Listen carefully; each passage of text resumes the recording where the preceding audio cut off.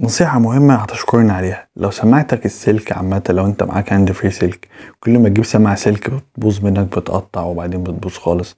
من عند ال socket مثلا اللي بيركب في الموبايل أو من عند ودنك هنا مثلا بتقطع بتقطع أو من عند الزرار ايا كان المكان. روح عند أي كهربائي قول له عايز shrink حراري متر shrink حراري بتلاتة جنيه تقريبا. تلاتة جنيه أنا جبته تلاتة جنيه. تسيحه بص لبسه في الحتة اللي بتعلق ديت. مثلا لو عند ال socket لبسه في الحتة اللي بتعلق دي اقطع منه حتة قد كده قد صباعك.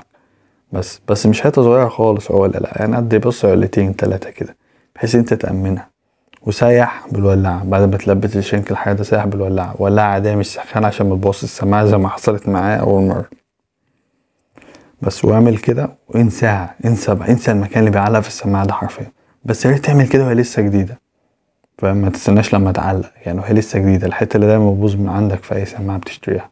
لو من عند السوكت دايما بتتقطع معاك بسرعة عشان حركة الموبايل عندك كتير في جيبك أو بتلبس بناطيل واسعة الموبايل بيلق في جيبك والسماعة بتبوظ من عند السوكت من تحت وكده. فهي النصيحة ديت هتفرق معاك. شرينك حراري وهي لسه جديدة. سيح بس شكرا. انساها هتقعد السماعة اللي كانت بتقعد معاك شهر وتبوظ تقعد معاك سنة ويمكن أكتر والله. بس دي نصيحة يعني ممكن تكون تعتبرها تافهة بس والله فرقت معايا جدا. بس صلى على النبي وكالعادة أشوفك على خير. لا لا لا الله.